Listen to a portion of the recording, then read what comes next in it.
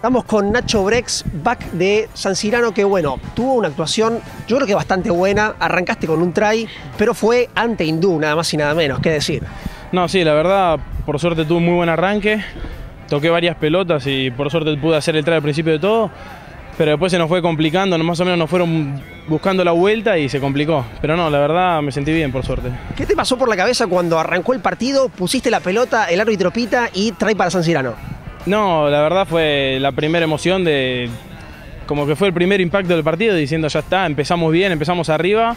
Y ya, sí, pasar nada. Y no quería ya, ya está, no quería que nos den vuelta, que no nos metan un traje. Fue la primera emoción, fue divino.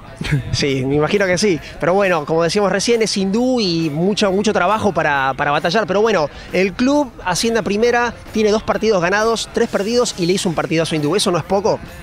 Perdón, eso no es poco, es bastante. No, la verdad, estamos bien, empezamos bien. Aunque con el casi también, obvio, queríamos ganar y no se nos dio, se nos escapó al final.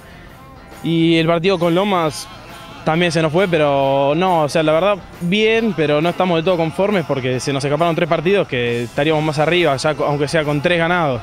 Pero no, igual contento de la campaña que estamos haciendo, pero ahora enfocarse en entrar en el, top 14. Bueno, ojalá empiece con más tries tuyos todos los partidos, ¿no? Es un deseo muy profundo para vos. Sí, ojalá, me encantaría. Sería lo mejor que me puede pasar.